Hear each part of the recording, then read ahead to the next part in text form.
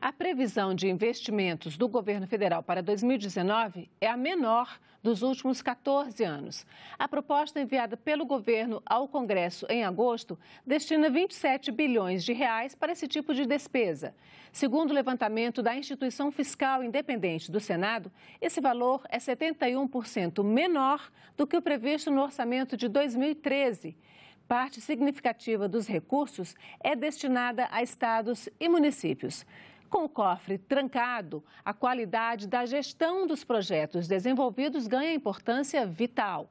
Há sete anos, a ONG Centro de Liderança Pública elabora o ranking de competitividade dos estados, onde computa a qualidade e a gestão dos investimentos realizados pelos governos estaduais.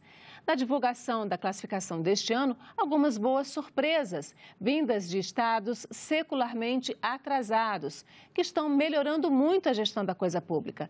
Para nos falar sobre a qualidade da gestão pública no Brasil, nós recebemos neste Agenda Econômica a diretora executiva do Centro de Liderança Pública, Luana Tavares. Luana, muito obrigada pela sua presença aqui na Agenda Econômica. Eu que agradeço, um prazer estar aqui. Que bom. Luana, é uma, quer dizer, o sétimo ano que vocês divulgam esse ranking, né? Vocês agora começaram a conceder um prêmio para as melhores práticas. Eu queria que você nos falasse um pouquinho desse ranking e talvez até começasse pela cereja do bolo, que é que são exatamente esses estados que estão conseguindo se sobressair, que eram atrasados historicamente e que estão eh, conseguindo se sobressair. Como é que vocês elaboram esse ranking?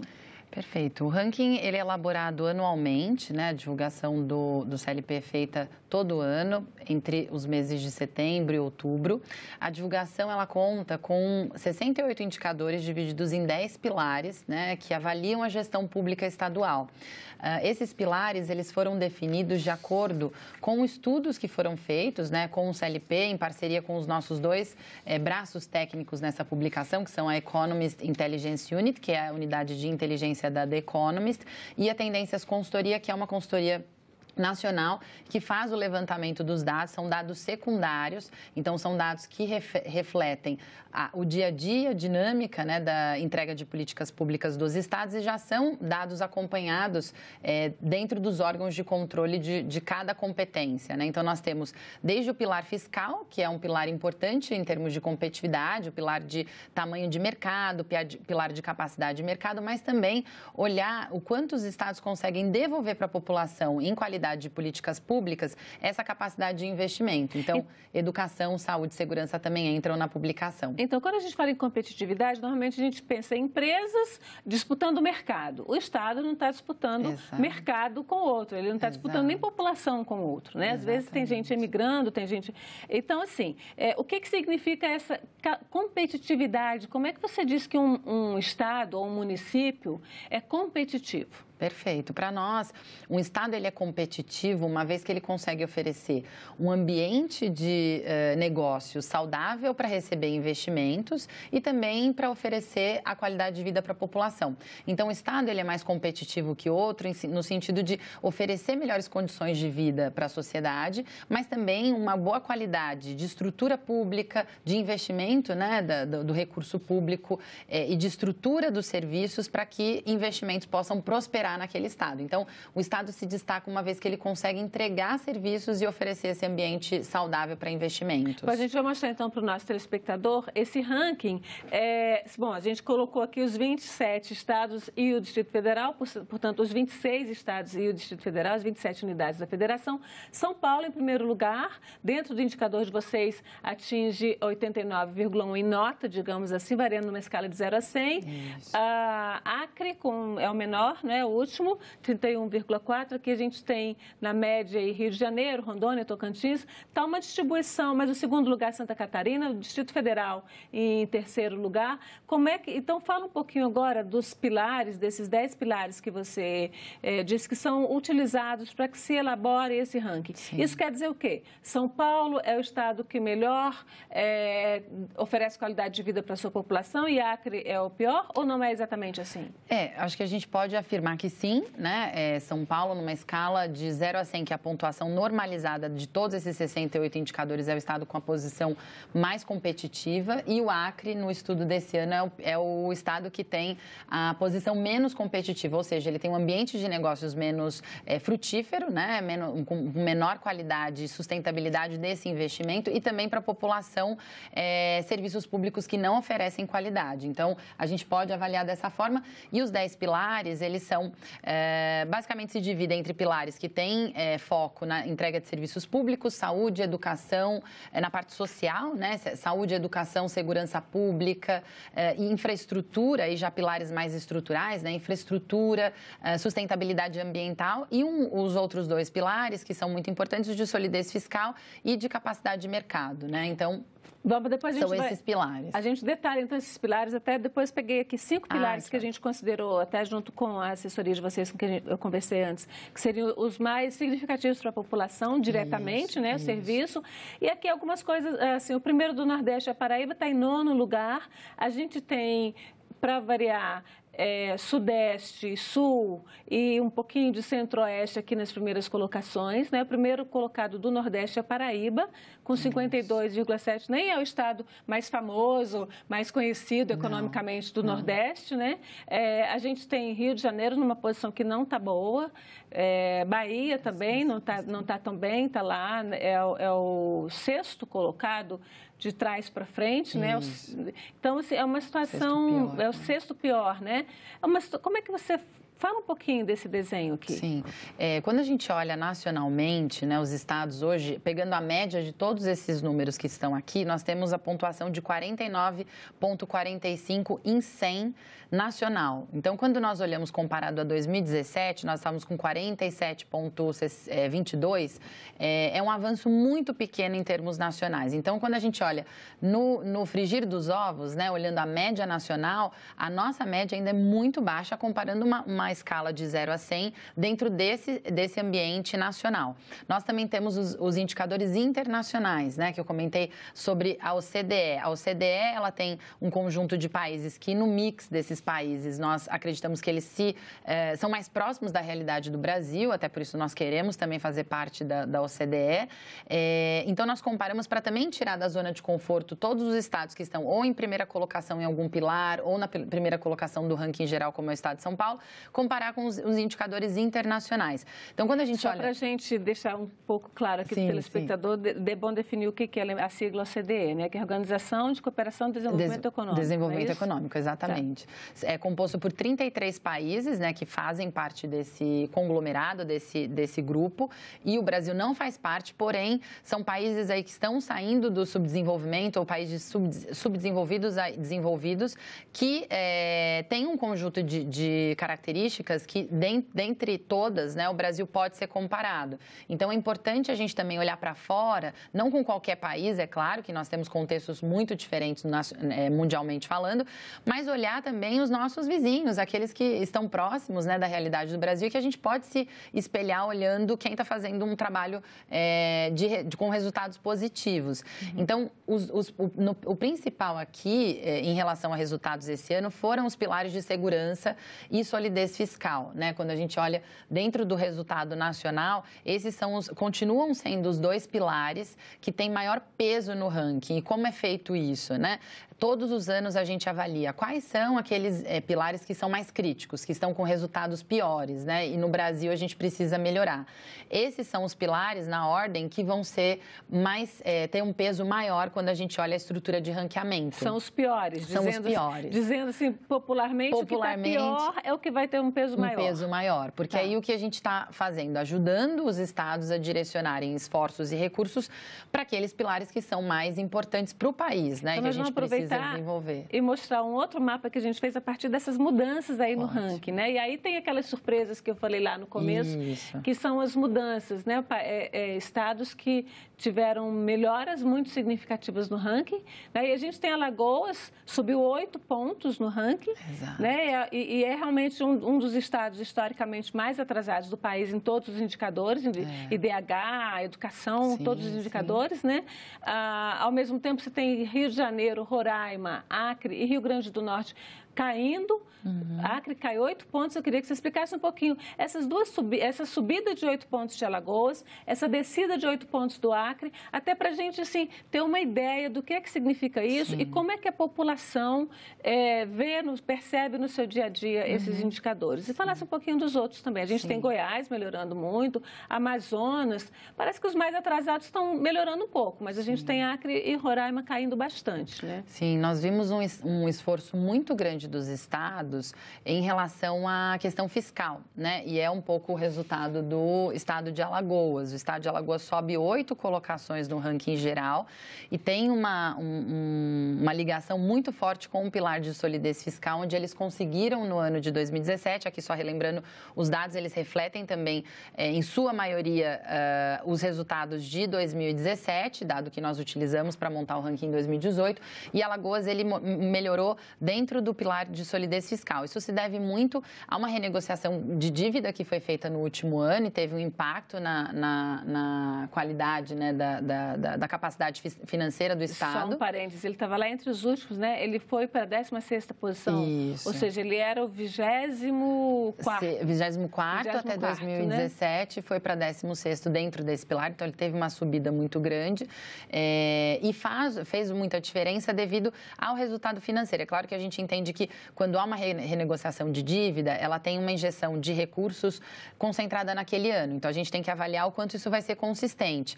Porém, é nítida a preocupação do Estado. A gente também tem uma, uma além da divulgação do ranking, um diálogo muito grande com os estados para entender a situação de cada é, contexto, entender o que, que práticas estão sendo feitas, até por isso o, o prêmio, que eu vou contar daqui a pouquinho sobre os ganhadores desse ano. Mas Alagoas é, teve isso e também é, gerou resultado primário é, e está trabalhando para enxugar muito as despesas que estão na, na, alçada do gestor, né, que são possíveis, passíveis de serem reduzidas, enxugando a máquina pública ao máximo. Então, não se deve apenas à renegociação da dívida, também tem uma série de ações de arroz fiscal, é, de, de, redução e otimização dos gastos que o Estado tem feito para conseguir ter esse equilíbrio. Né? E essa queda do Acre? No Acre já foi é, muito relacionado aos indicadores sociais, também econômicos. É, Acre também está muito atrás dentro do pilar de solidez fiscal, mas o que chamou muito atenção foi o pilar de segurança pública.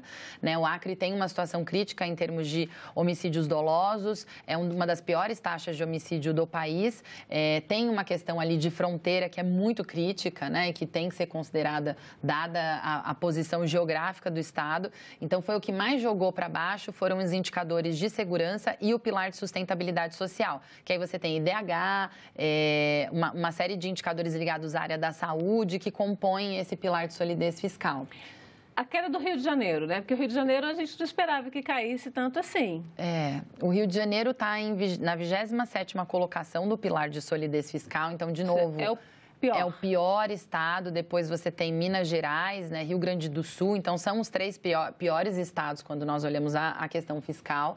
É, e, de um modo geral, também falando desse pilar, nós temos todos os estados. Você, vocês observarem, né, o pilar de solidez fiscal, nós tivemos uma ascensão muito grande de estados do Norte e Nordeste. Alagoas é o primeiro, Ceará segundo, depois Amazo Amazonas. Isso, a gente tem até uma arte ah, onde desculpa. a gente mostra. Não, pode, pode continuar pode falando. A gente vai Amazonas. trocar aqui essa arte, porque a gente fez exatamente um levantamento pilar, de, desses né? pilares, né? Esse aqui exatamente como você está falando. Solidez fiscal, primeiro Alagoas, Ceará, Amazonas, Pará e Goiás, como você estava falando. Isso. Segurança Pública, São Paulo, Santa Catarina, Distrito Federal, Mato Grosso do Sul, Rondônia. Então, Isso. Então, na segurança, você disse que o Acre é o pior. É um dos piores. Um dos piores. o Rio tá... de Janeiro. Rio de Janeiro Rio de Janeiro tem uma taxa de homicídios muito alta, ele está uhum. também entre os piores colocados, mas o Acre está mais atrás ainda, se não me engano, na 23ª colocação entre todos os estados.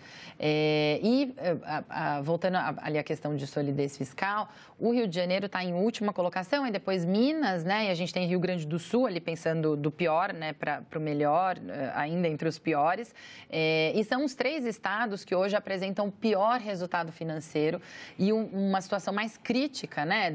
O Rio de Janeiro ainda está no momento de calamidade né, financeira que foi declarado e depois mantido no início de 2018.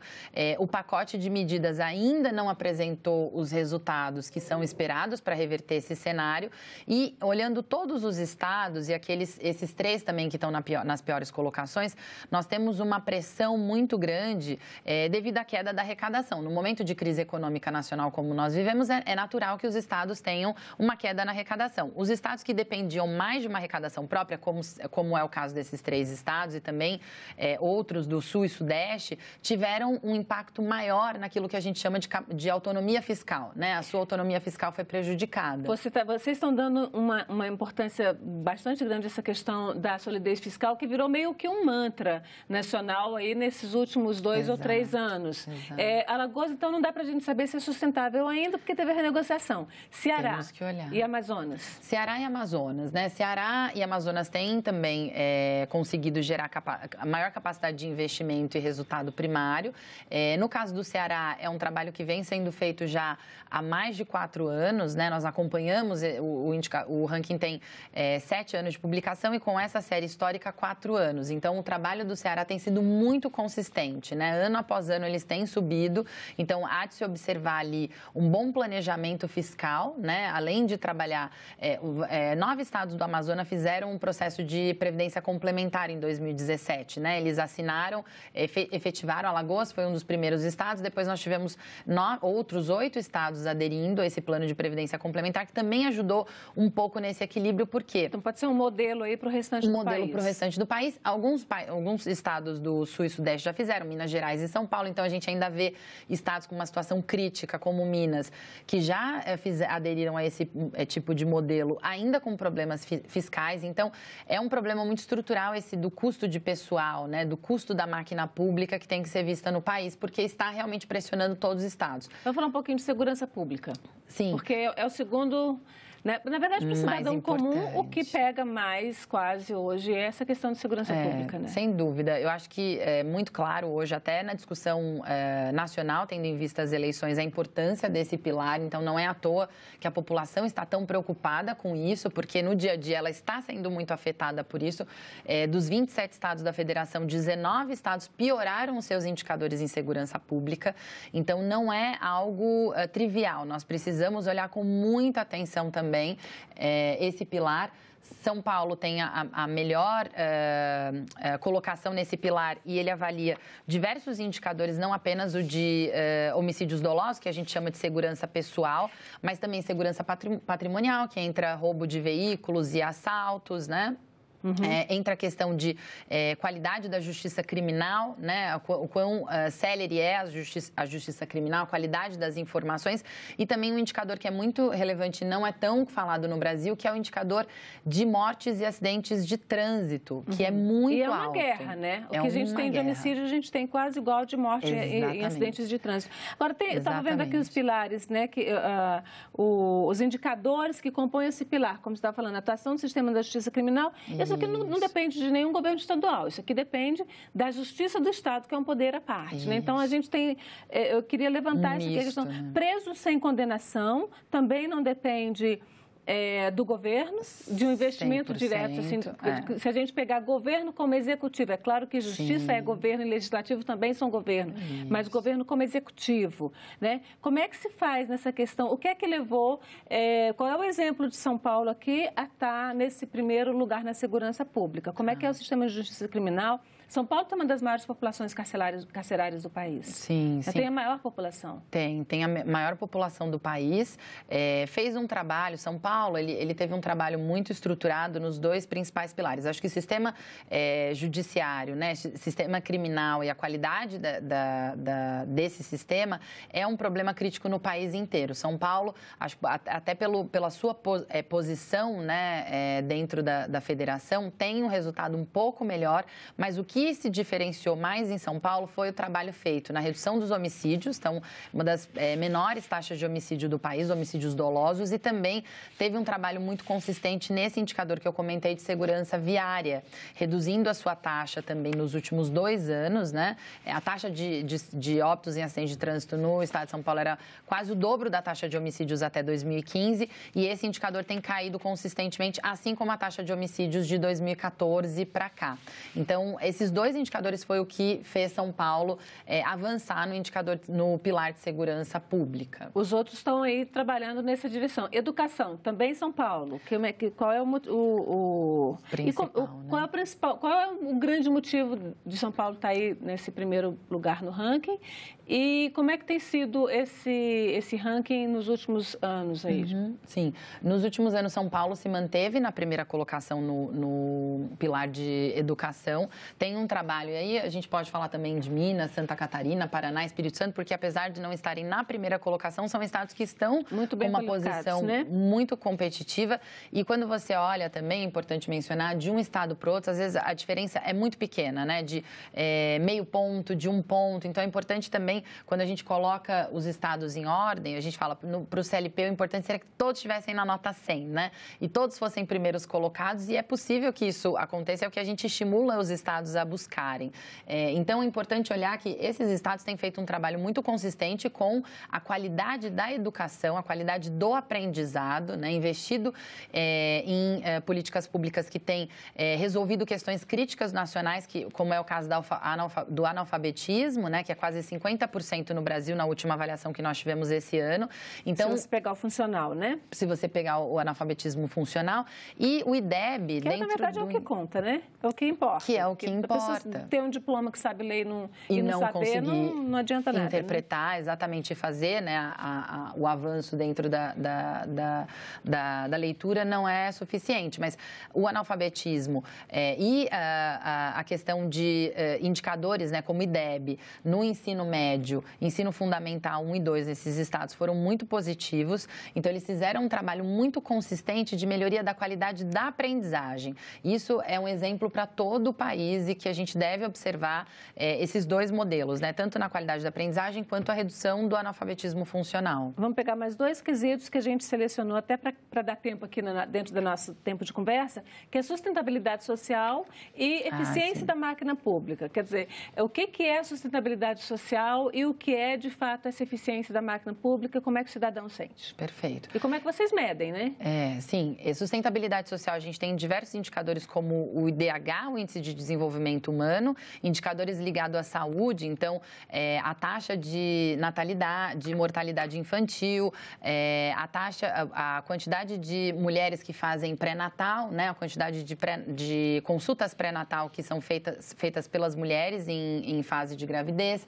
Então, ele captura é, a qualidade das moradias. Então, aqui tem tudo aquilo que está ligado ao nosso é, dia a dia, é, de, de, seja de moradia, seja de atendimento na saúde, seja de qualidade da saúde no país. Transporte entra aqui também? Transporte não. A gente tem um pilar de infraestrutura onde todos os indicadores de transporte estão alocados, né? Tanto acesso, é, quantidade, é, custo e quali, é, custo, qualidade e quantidade, né? O que é eficiência da máquina pública? Já a eficiência da máquina pública aqui é bem interessante esse pilar, porque ele olha um aspecto que está muito distante ali do nosso dia a dia, olhando como cidadã, né? É, que é o quanto o Estado custa, né? Quanto o custo legislativo, quanto o custo executivo do Estado, porque a gente tem as assembleias estaduais, né, legislativas, e a gente tem o custo do executivo, que são o custo dos funcionários públicos, é, o percentual de servidores comissionados sobre o total de, de funcionários públicos daquele Estado. Então, quanto o Estado